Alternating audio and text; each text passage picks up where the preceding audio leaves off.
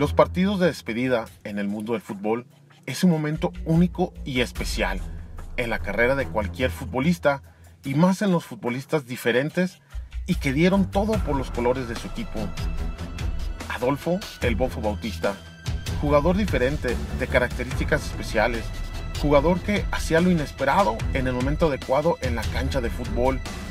El Bofo jugó en varios clubes de México, entre ellos Tecos de la Autónoma de Guadalajara, Monarcas Morelia, Jaguares de Chiapas, Gallos Blancos de Querétaro, Tuzos del Pachuca y las Chivas Rayadas del Guadalajara. Con estos dos últimos, campeón de liga, jugador de selección mexicana y mundialista en Sudáfrica en el año 2010.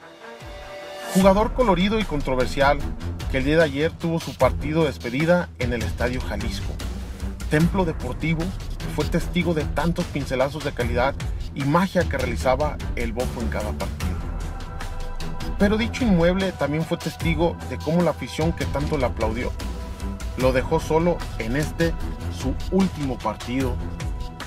La razón no la sé, pero qué sorprendido me quedé al ver al Estadio Jalisco casi vacío en este partido de despedida a un jugador como el Bofo Bautista.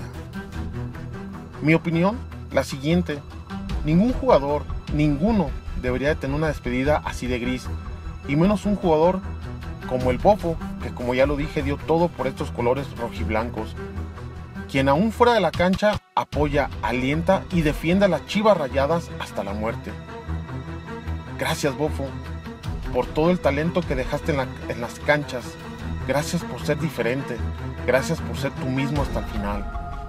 Hasta pronto Bofo. Si el video te gustó, pulgar arriba, suscríbete, comparte, lo cual me ayuda mucho para seguir haciendo este tipo de proyectos.